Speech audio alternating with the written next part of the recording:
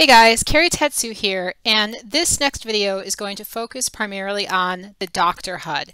So right now I'm logged in as myself as a pregnant female avatar, and that's the first step. So JS Greenwood is going to roleplay as my doctor.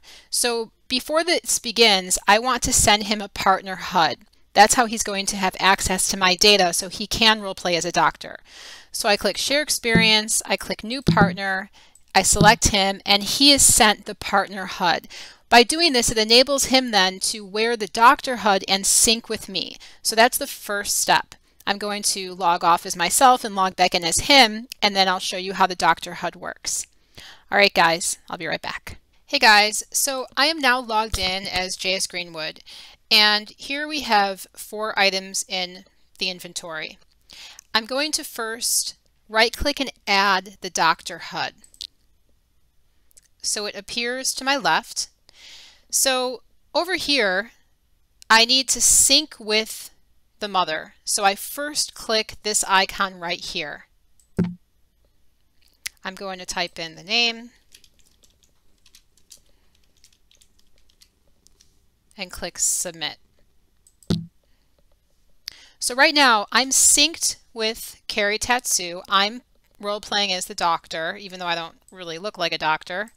Um, and I am now synced with Carrie Tatsu.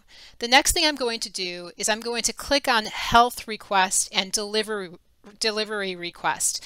This basically says that I'm going to ask Carrie Tetsu if I can review her health and if I can assist in delivering a baby. So first I click health request and it says sending a health data permission request to Carrie Tatsu and then delivery request. And now Carrie Tatsu has to accept that and say allow. So um, I'm going to do that right now. Okay, once that happens, you see a check mark appears. So now not only am I synced with Carrie Tatsu, but health is granted and delivery is granted. You can also see here um, her fertility is, is low, right here. You can see her mood levels are high. She's fertile, which means that she can potentially potentially get pregnant, but she's not pregnant, so you don't see any of this other data below here. So the first thing we're going to do is JS Greenwood is going to play the doctor and inseminate Carrie Tetsu. So I'm going to res this insemination towel. Let's move it around. Okay, now my main avatar, Carrie Tetsu, is going to sit on the towel. So here I go. I'm going to sit on the towel. Okay, so here I am in a pose to be inseminated. Now imagine this is at a doctor's clinic. The doctor can click here and hide the mat or show the mat um, raise up the towel so it can sit on a chair or a doctor's chair. So the doctor has flexibility to do different things. So the next thing I'm going to do is I'm going to remove any animation AO I'm wearing. So I'm going to detach this. So now my avatar is not animating because we don't want animations to interfere with the poses. So next what I'm going to do is I'm going to res something called the clinic insemination pose. And I'm going to right click and sit. So one quick thing you can see, I'm sitting on my on Carrie Tetsu's head. If I do Control Alt T, it turns the invisible option on and I can move myself away and rotate myself. So I want to do that next. And now I kind of have a sense of where this ball is. I'm going to click the ball and say test animation. So ultimately what I'm trying to do is align myself up where when I get an insemination stick, my hand goes in the correct location. So test animation. So I'm a little bit further out but as the doctor, you can position yourself and you can position the mat so you align relatively well with the animation. So maybe I'll go move out a little bit more.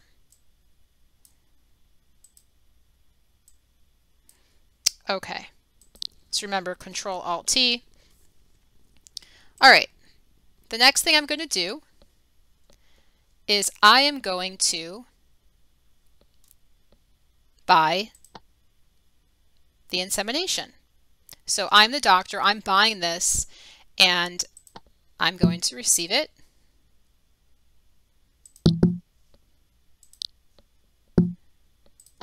I have it. So next what I'm going to do is I'm going to right click and add that. Now suddenly my HUD changed and it says insemination procedure. So I click that, prepare for insemination, I click that, and here I'm aligned to inseminate the pregnant female avatar who is currently not pregnant yet. So the next thing I do is I complete insemination. So I'll just rotate the camera this way. And really, the doctor is just inseminating. So one important thing about this is that as a doctor, you often want to click this recycle button because it gives you immediate access to data. So the server doesn't constantly have to talk to the HUD. You click the recycle button to see the status of the female. So right now the status is seeded. So that means that the insemination took, but she's not pregnant yet. She's just seeded. So it's up to the woman now to actually start her term. So I'm going to go do that because I'm role playing as both the pregnant female avatar as well as the doctor. So I'm going to start my term. And by doing starting term, I have the female avatar HUD on and I go to the pregnancy section and I click the baby icon and I click start term. So one really important thing is that even if you're seeded as the female, you have to have an egg to start a term. So the next important thing is that it's important as the doctor that you click the refresh button because now that gives immediate data on the status of the mother. So now you can see that my status is I'm carrying, I set the term rate to nine days. So the doctor has all this information. The doctor can see when the term um, start date was, the day, there's only one day, the mother's on stage one, um, it's going to be another day until she moves up in a stage there was zero, the estimated due date. So all those things. So basically, that's the first step for insemination. So you can see here, no babies to deliver, and that's because the mother is just inseminated. She hasn't actually gone through all the stages to deliver her baby. So what I'm going to do is I'm going to bring Carrie Tattoo to full term and then come back here and show you how JS Greenwood can deliver the baby. So I'll be right back. Okay, so the next thing I'm going to do is get rid of the insemination mesh because I don't need it anymore.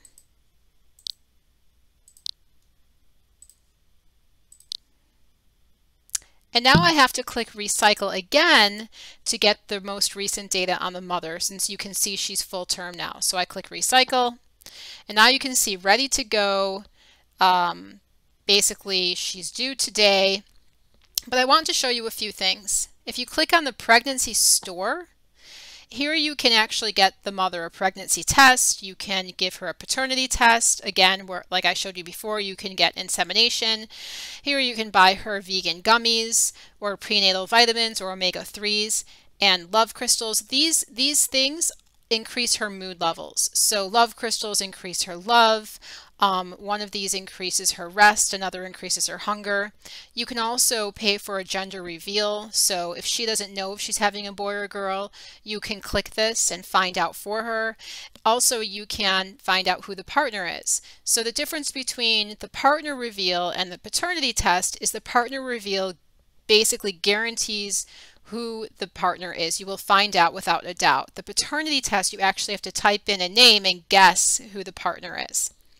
So that's the store. So the next thing I'm going to do is the doctor. I'm going to res the pregnancy mat. So it's called the LoveMomma Clinic Birther Towel.